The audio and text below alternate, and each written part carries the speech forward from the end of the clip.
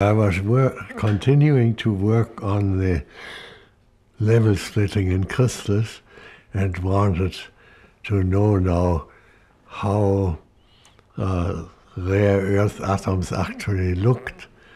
And so I used the Fermi atom, that is, Fermi had applied his, his uh, statistics to obtain a simple picture of an atom, uh, which gave the charge distribution of the electrons.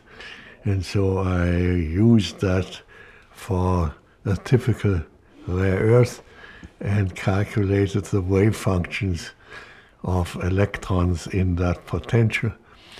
And I was very proud when Fermi then told me, uh, you should put that into my thesaurus psiarum, the treasury of wave functions. Uh, and I don't know whether that was preserved, but anyway, there it was.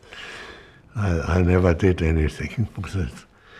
And then we did the, this uh, joint paper about various approaches to relativistic collision theory, and I wrote a paper on uh, on um, the stopping of electrons, of relativistic electrons, which Fermi then later on modified, namely taking into account that in a solid or in, in any condensed material, there is an, a, a dielectric constant, and you have to take that into account, and that reduces the uh, stopping power uh, somewhat.